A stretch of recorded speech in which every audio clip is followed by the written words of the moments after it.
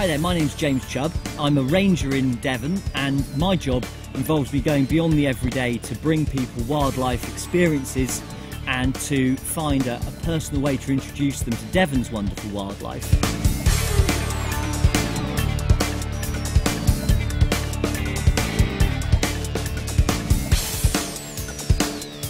I'd like to take you to, to see one of my ultimate species just now. Feared because of its venomous bite, beautifully marked head and face, pale lips and a golden eye.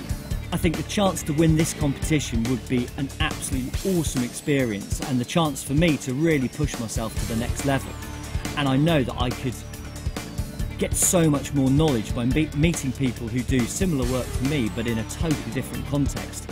And the chance to, to visit Africa and to work with animals over there would just be an absolute dream come true.